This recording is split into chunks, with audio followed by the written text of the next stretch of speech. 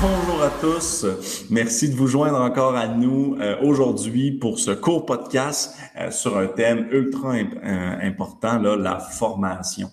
Donc, le podcast aujourd'hui s'appelle Viser plus haut avec la formation professionnelle. Et pour en parler, on a décidé d'inviter Christophe Bonjour Christophe. Bonjour Étienne, merci pour l'invitation. Merci Étienne, merci Exfit pour euh, ce nouveau podcast qui va nous permettre probablement d'éclaircir certains points de notre métier. Ben oui, qui sont ultra importantes. Hein. Euh, la formation, en fait, continue est une obligation pour certains ordres professionnels euh, ou des fédérations, je pense aux kinésiologues au Québec, et est aussi une, une excellente et bonne pratique euh, pour les, les, autres, donc pour les entraîneurs personnels, pour les coachs, par exemple, en France, parce que on, on évolue dans un domaine qui évolue à une vitesse de fou, hein, la santé, l'activité physique. Euh, donc, la connaissance évolue rapidement, les enjeux évoluent rapidement, les interrelations entre tout évoluent rapidement. Moi, je ne suis pas un professionnel, mais euh, assurément que c'est un domaine qui change énormément. Pourquoi, Christophe, on a décidé d'en parler avec toi? Alors, pour nous, en France, la, la, formation, pardon, la formation est, est, est primordiale hein, pour les coachs sportifs. Donc, nous, en, France, on dit coach sportif. Euh, c'est relativement important puisque on est diplômé d'État, donc on a des cursus qui nous permettent d'être diplômés d'État, mais que ensuite on n'a aucune obligation de mettre à niveau nos compétences ou nos connaissances. Donc la formation continue, et c'est vraiment ce mot-là, l'apprentissage hein, globalement, est euh, pour nous quelque part euh, une, une, option que certains utilisent ou pas. Euh, d'où cette idée de webinaire qui était très très intéressante. Hmm.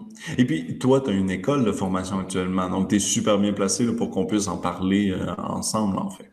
Donc, est-ce que tu veux te présenter peut-être? Alors, rapidement, Rapidement, euh, moi je suis issu de deux filières.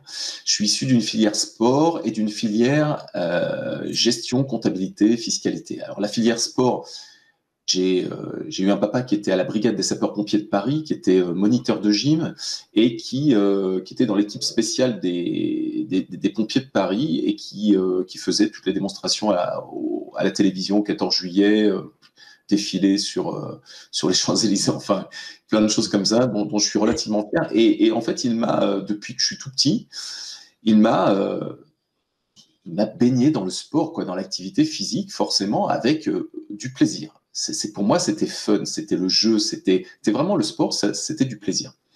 Et par la suite, donc, je suis restant baigné dans le sport et ayant pratiqué de la gymnastique sportive, de la natation, euh, je me suis tourné vers les arts martiaux parce que je suis tombé dedans à un moment donné où j'avais vu un film qui était euh, un film sur les arts martiaux qui m'a rendu fou et qui m'a donné envie de pratiquer. Et par la suite, quelques années plus tard, en parallèle des arts martiaux, j'ai donné, j'ai eu l'opportunité de pouvoir commencer à donner des cours de fitness et puis de tenir un plateau musculation cardio dans un club.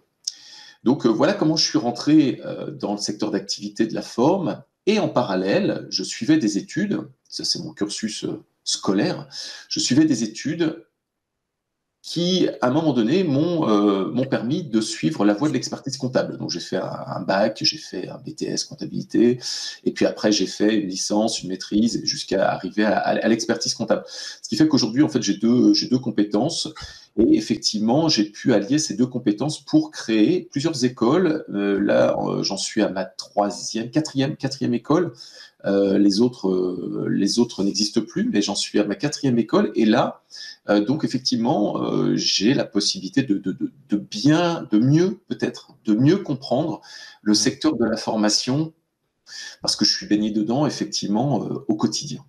Ah Puis tu vas avoir quand même 100% le portrait euh, français. Et puis, j'essaierai au pire de faire le, le, le pont là, vers le Québec. Mais euh, effectivement, je rejoins la formation continue pour, comme je dis, les kinésiologues euh, qui sont une fédération. donc, qui, qui, qui est même une obligation. En fait, tu perds tu perds l'accréditation euh, si tu ne continues pas la formation. Peut-être peut-être qu'ensemble, on peut revenir un peu à la base, en fait, de la problématique de ce qu'on est en train de parler. Euh, avant de parler de formation, et comment la trouver, comment la sélectionner, etc. Peut-être qu'on peut parler de pourquoi se former. Euh, on a déjà mentionné, parce que c'est un domaine qui évolue rapidement, mais, mais il y a sûrement plus de choses.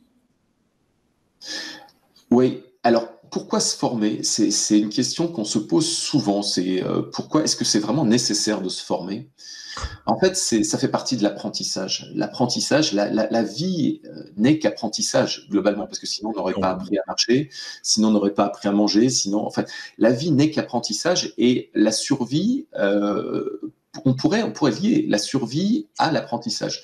C'est assez intéressant globalement parce que euh, si un jour, euh, les, si, on n'avait pas inventé euh, les, armes, si on n'avait pas inventé comment faire du feu, si on n'avait pas, en fait, si on n'avait pas, si, d'autres ne nous avaient pas enseigné comment faire du feu, nous avaient pas transmis, nous avaient pas, s'il n'y avait pas eu un apprentissage, de la création des outils, de, de l'écriture, etc., en fait, on ne on serait pas développé aussi vite. Et si on ramène ça à notre secteur d'activité, nous, les coachs sportifs, eh bien, on s'aperçoit que euh, ce n'est pas forcément une obligation pour nous, Français, euh, au Canada, ça l'est, mais euh, en France, on, on n'a pas cette notion-là. Et néanmoins, on s'aperçoit, parce que je suis souvent en rapport avec euh, les coachs sportifs euh, francophones, que ceux euh, qui oublient qui oublient de se former ou qui n'ont pas la possibilité d'accéder à l'apprentissage et à la formation ou qui n'ont pas envie, hein, tout simplement, se sentent à un moment donné, il y a, y a, une, énorme, une énorme frustration parce qu'ils se sentent isolés. C'est-à-dire qu'ils si on faisait une, métaphore, on pourrait dire qu'ils sont sur un, quai, de, gare, de, gare, pardon, un quai de gare, et il y a, vous avez plein de coachs qui sont partis dans le train, qui est en train de prendre de la distance, qui est en train de prendre de la vitesse, qui est parti de cette gare, et certains sont restés sur cette gare.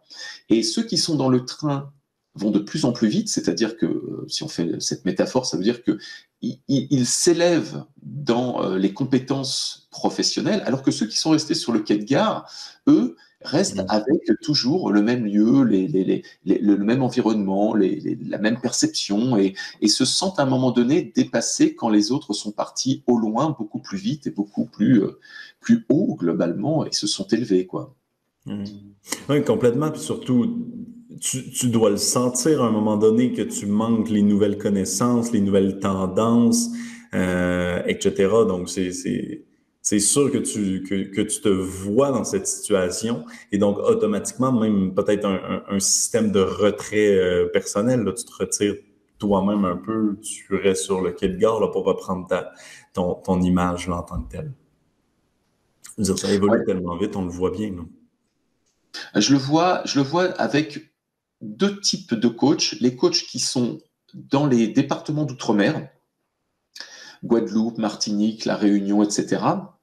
Et euh, qui régulièrement, lorsque je suis allé dans ces départements d'outre-mer, qui sont des îles hein, généralement, euh, me disent, mais euh, nous, on se sent complètement dépassé par rapport à vous, la métropole, mais vraiment, on se sent complètement à part et on se sent loin de vous quand on vous regarde, quand on regarde ce que vous faites. On, a vraiment cette impression d'être en arrière par rapport à vous. Et cette impression, on la retrouve aussi chez des coachs sportifs qui, en métropole, donc euh, sur le territoire, euh, le, territoire euh, européen, là, ici en France, sont dans des petites villes qui sont des villes excentrés par rapport aux grandes métropoles. Et eux, pareil, se sentent de plus en plus isolés et se mmh. sentent dépassés. Il y a ce sentiment de dépassement. Mmh. Clairement. en fait, c'est simplement obligatoire si tu te maintiens pas. Mais maintenant, peut-être qu'on comprend euh, comment, ben, pas comment, mais pourquoi en fait. Euh, peut-être qu'on peut, s'attarder au comment. Euh, parce que moi, j'ai souvent entendu dans mes différentes discussions avec des professionnels de l'activité physique, oui, mais comment trouver? Il y a de plus en plus d'offres. L'offre est diverse, l'offre est, et, dans plein de milieux différents, plein de prix différents, euh, sur plein de thèmes différents. Donc, peut-être comment est-ce que concrètement on peut donner des pistes aux professionnels pour trouver la bonne formation qui va être surtout complémentaire à ce qu'ils font? Euh, parce que l'idée au final, c'est quand même de pouvoir la monétiser, entre guillemets, hein, dans le sens de pouvoir l'utiliser avec ses clients. Euh, donc, comment est-ce qu'on peut trouver, euh, comment qu'on peut offrir peut-être deux, trois pistes à ce sujet-là? C'est toujours très, très dur de parier sur une formation qu'on ne connaît pas.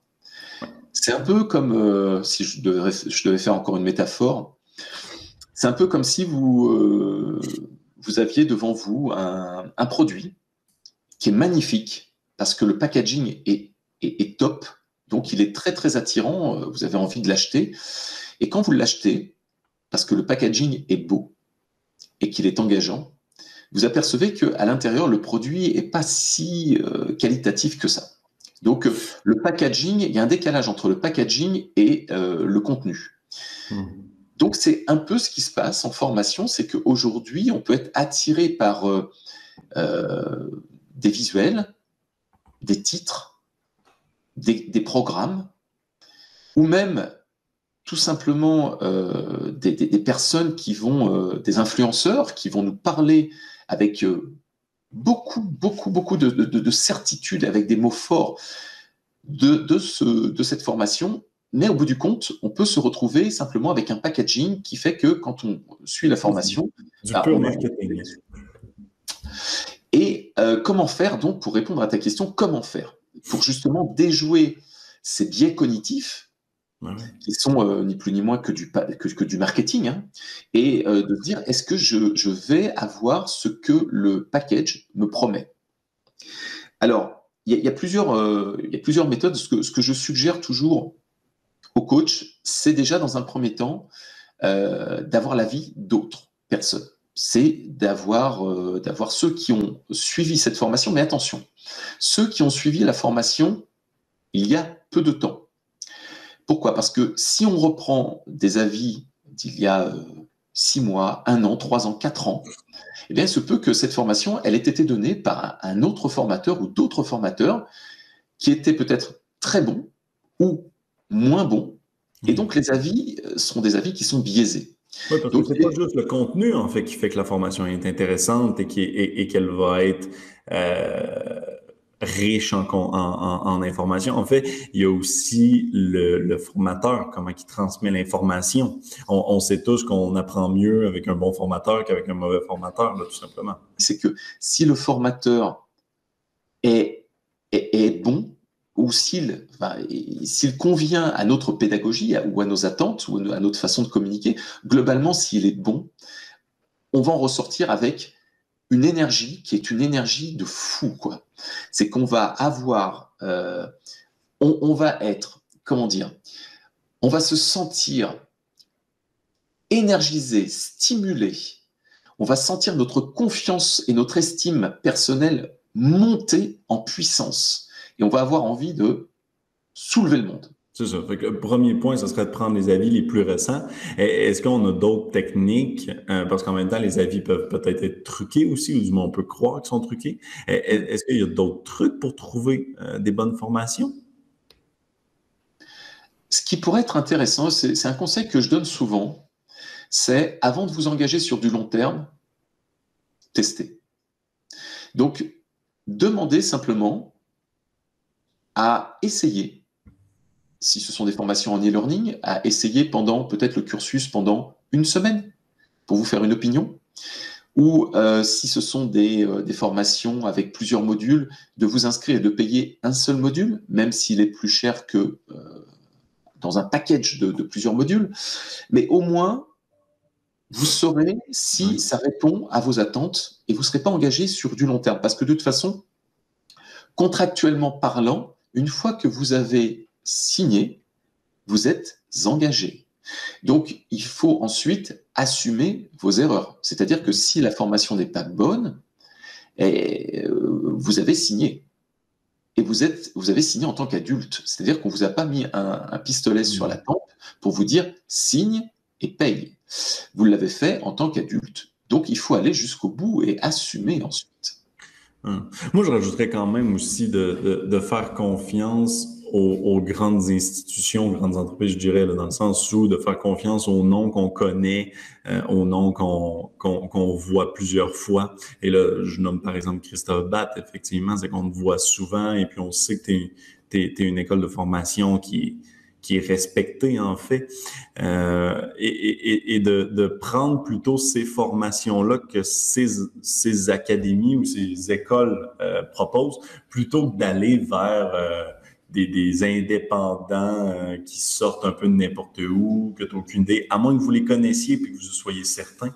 Euh, mais si vous les connaissez pas, euh, moi personnellement, du moins, j'aurais beaucoup plus tendance à aller vers des écoles de formation reconnues. Est-ce que c'est un mythe? Est-ce que je, je, fais de la discrimination ou est-ce que tu rejoins ce point-là? je dirais plutôt, ne faites confiance que lorsque vous avez testé. C'est-à-dire que ne faites pas confiance à la réputation. C'est un point qui est, intéressant, mais pour, pour moi, euh, ça, je, dirais, ne faites pas confiance aux formations Christophe Batz. testez. Testez et faites-vous votre propre opinion.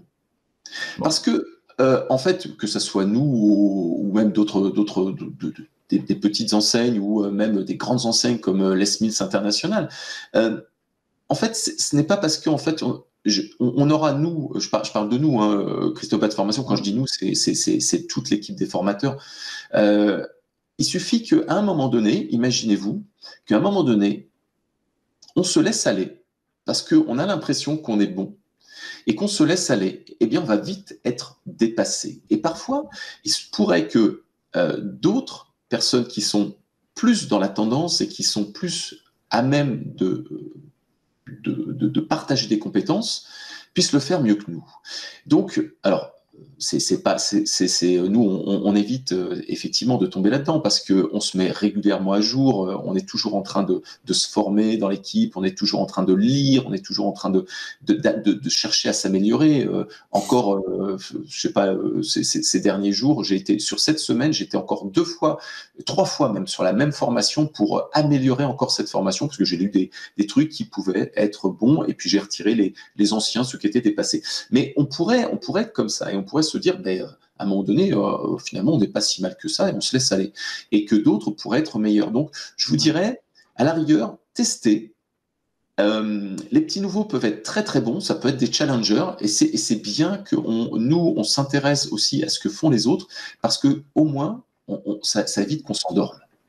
Et donc, ça nous permet, nous, de par notre expérience, d'avoir toujours, euh, d'avoir toujours un peu d'avance globalement, parce que c'est l'expérience qui fait qu'à un moment donné, euh, quand on met à jour régulièrement nos, contenus, grâce à l'expérience et à notre euh, toute la pédagogie qu'on a pu développer au fur et à mesure du temps, hein, on n'est pas exceptionnel, hein, c'est tout simplement qu'on a aussi développé de la pédagogie.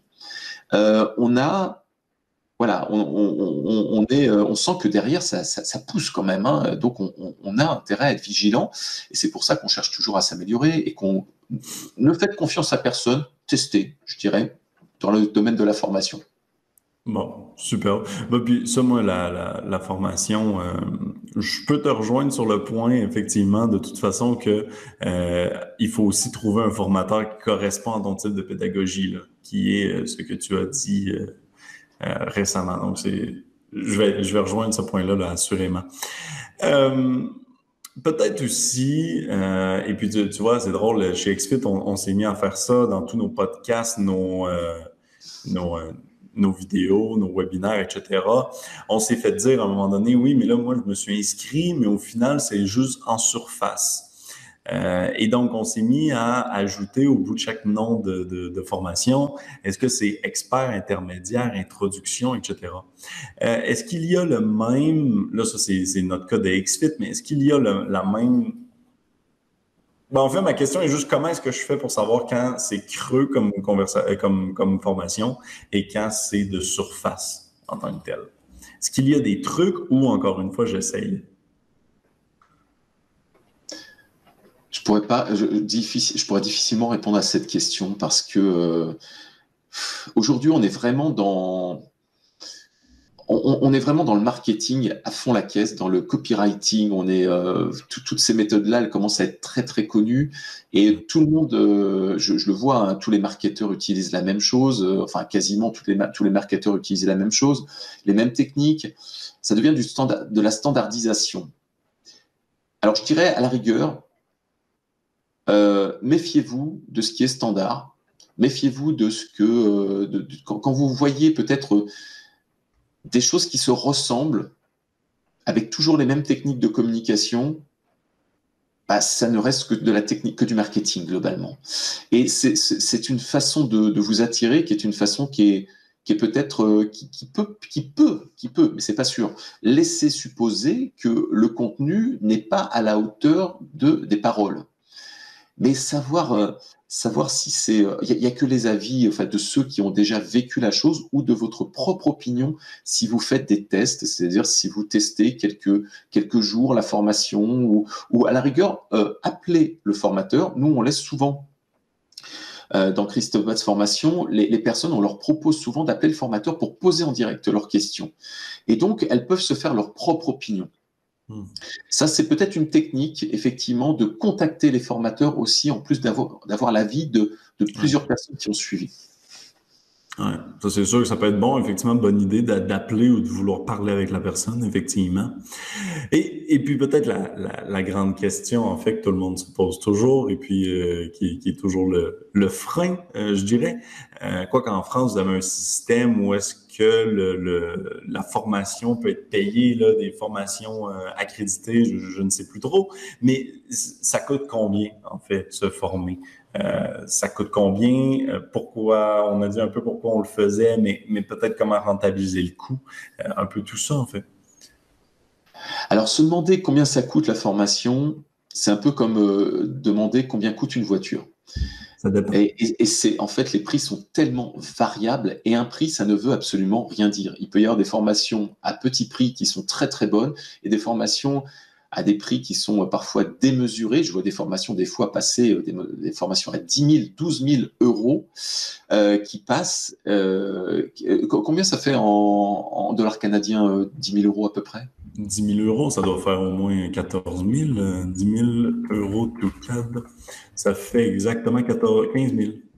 15 000, dollars canadiens. Donc, on a des formations qui sont entre 10 000 euros, donc 15 000 dollars canadiens, et 12 000 euros, ce qui doit faire pas loin de 18 000 dollars euh, canadiens.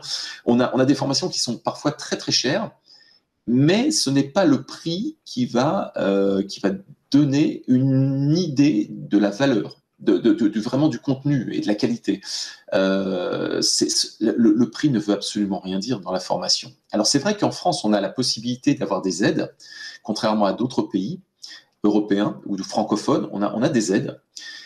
Et on a des aides euh, qui sont quand même relativement intéressantes puisque ça, ces aides peuvent permettre de suivre euh, en général deux voire trois formations par an, euh, qui amènent à, à, développer ses compétences assez rapidement. Ouais, c'est une super bonne idée. Et il y, y, a un truc que tu as dit, Étienne, qui était très très intéressant tout à l'heure, c'est que euh, tu as parlé d'investissement.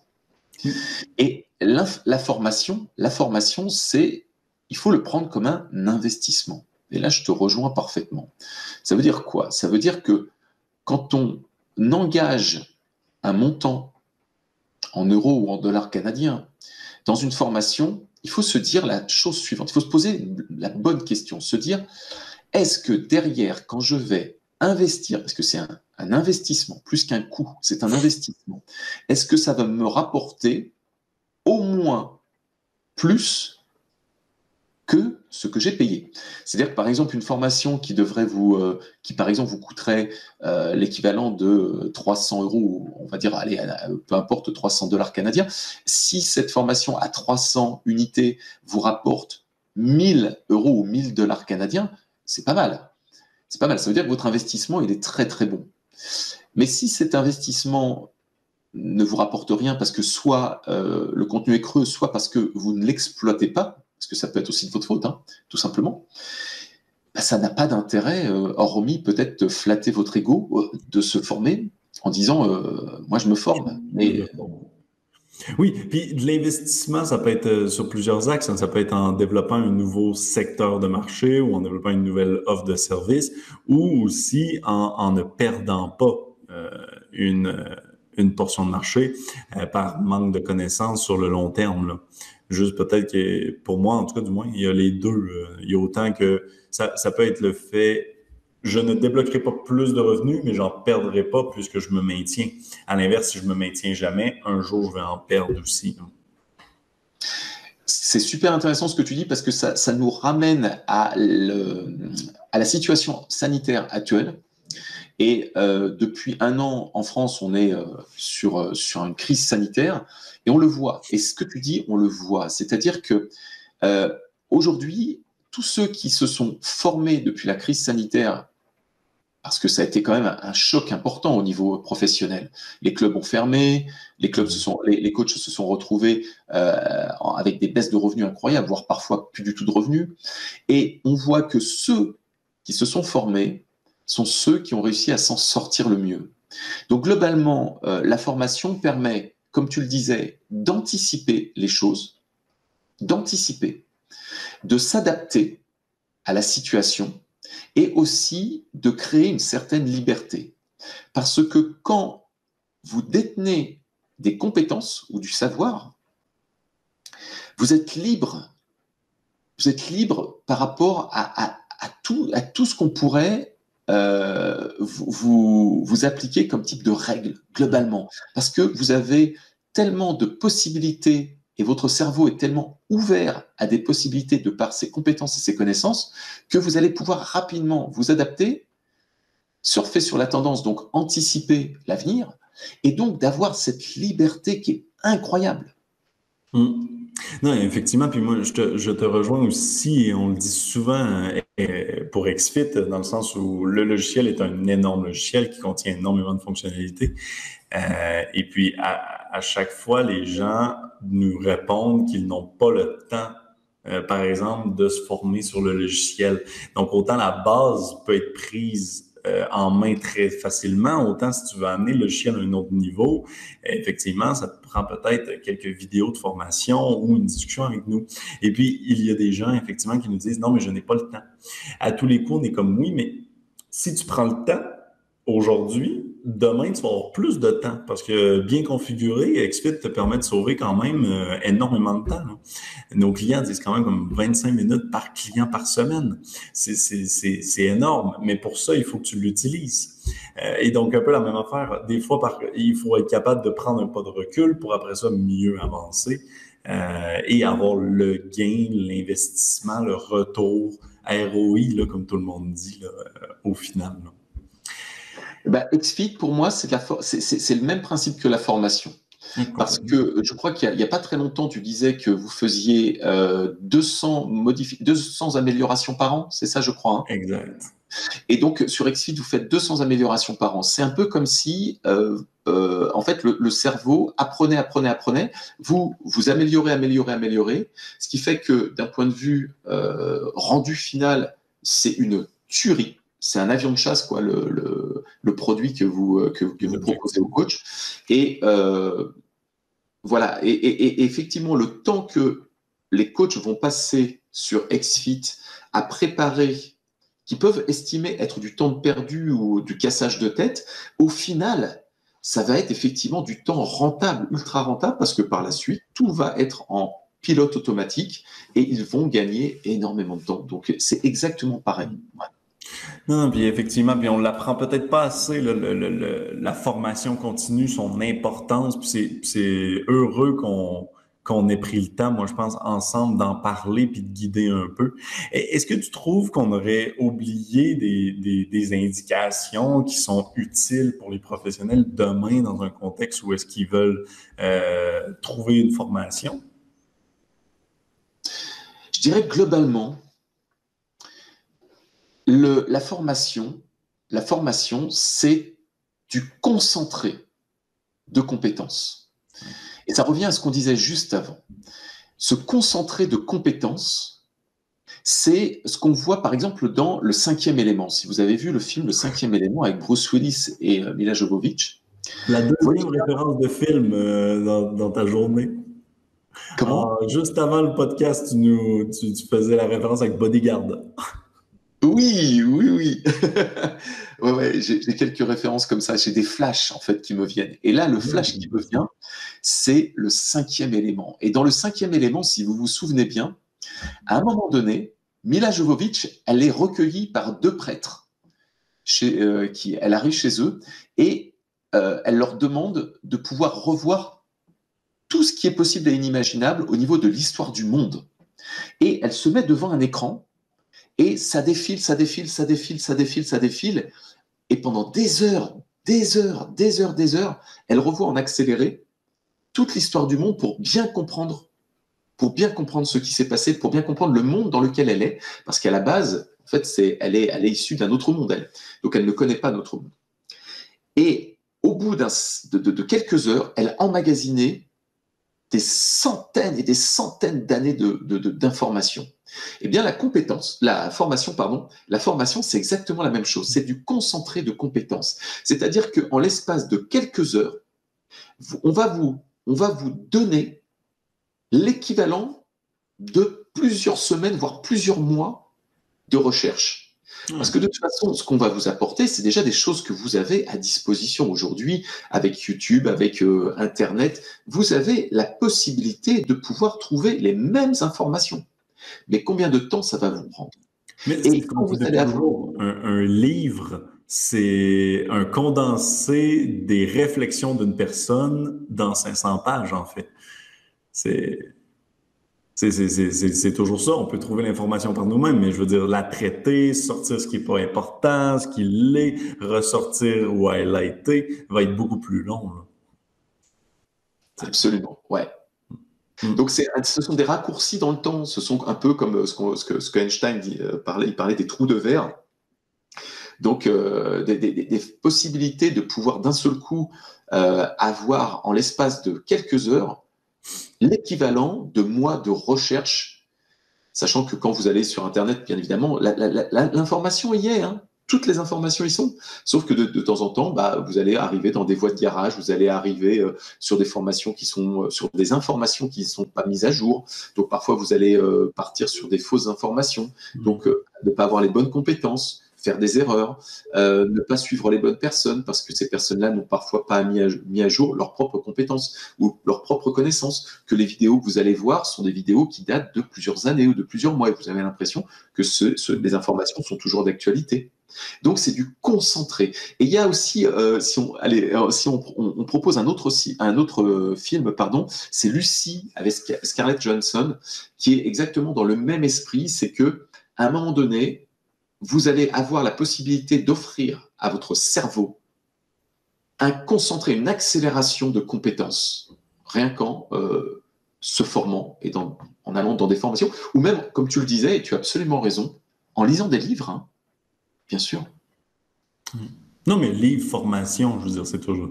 Pour moi, je, me mettais dans la même catégorie de euh, condensé des réflexions d'une personne en un laps de temps plus court, en fait. C'est exactement ça. C'est un accès vers quelqu'un qui a réfléchi ou étudié pendant longtemps et qui transmet cette connaissance-là euh, rapidement, en fait. Merci, euh, merci beaucoup, euh, Christophe, pour toutes ces astuces-là sur la formation. Je sais que les auditeurs qui nous écoutent peuvent trouver plusieurs formations sur ton site, qui est actuellement en construction, mais sur ton site.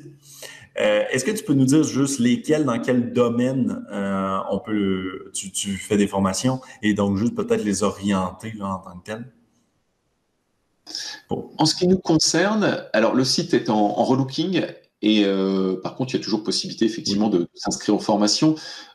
Ce que, ce que l'on fait, c'est que l'on propose des formations qui sont les plus tendances aujourd'hui, donc qui peuvent répondre à, aux besoins de pouvoir s'améliorer et donc de pouvoir toujours bien vivre de vivre confortablement de votre métier de coach sportif. En fait, c'est l'idée. C'est toujours vous proposer des choses qui sont tendances, qui sont modernes, qui sont même parfois avant-gardistes, comme l'hypnose, comme euh, euh, la PNL, comme euh, plein, plein, plein de trucs de fou, la, marche nordique.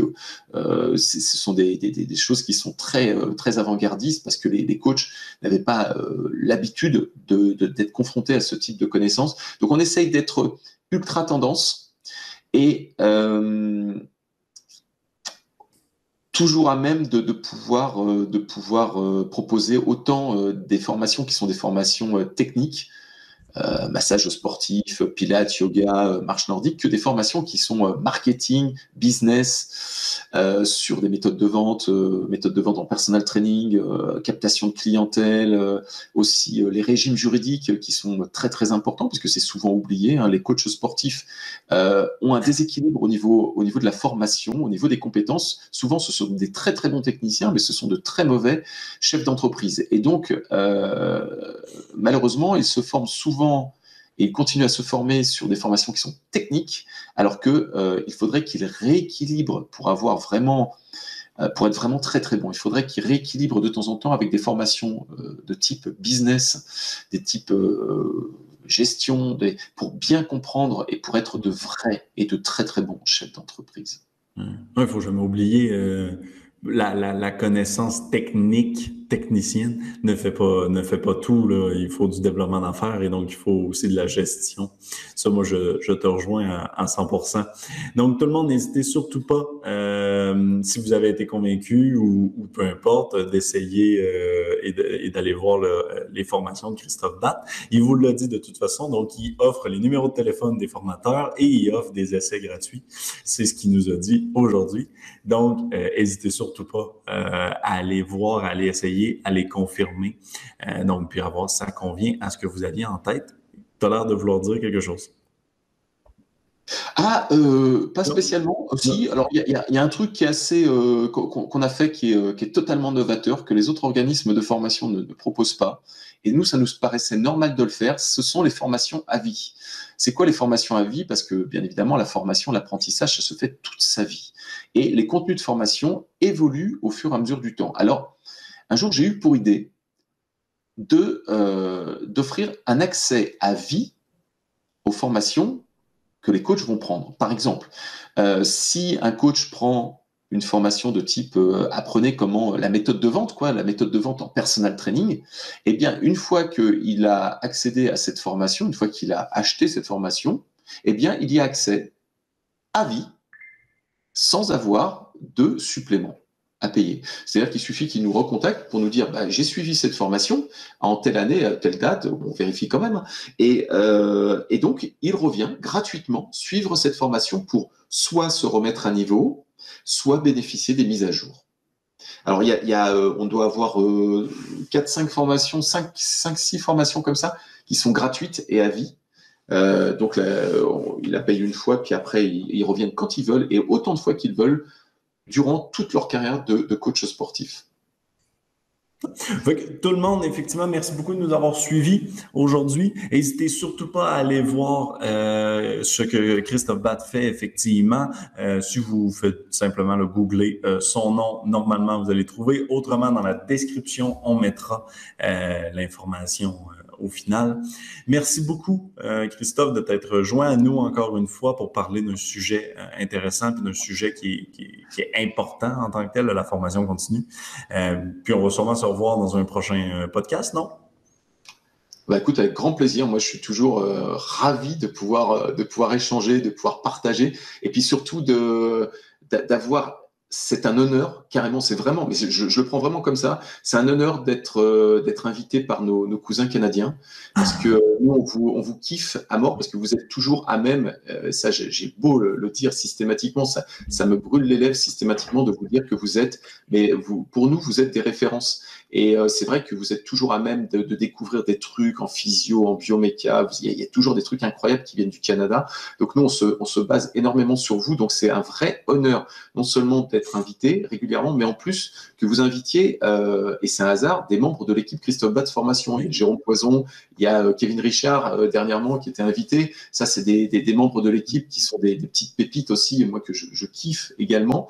Et on est trois de l'équipe Christophe Batz Formation déjà d'être invités par XFIT. Donc c'est un énorme honneur pour nous d'être d'être là et on revient quand vous voulez, quand, quand vous avez envie qu'on qu partage. Bien évidemment. On va assurément trouver d'autres sujets. Tout le monde, n'hésitez surtout pas à nous proposer des sujets si vous avez des, des, des, choses que vous aimeriez qu'on parle euh, dans tout l'écosystème euh, XFIT. Merci beaucoup, euh, Christophe. Merci. Merci XFIT et merci Étienne. Continuez comme vous faites. Moi, je vous kiffe aussi.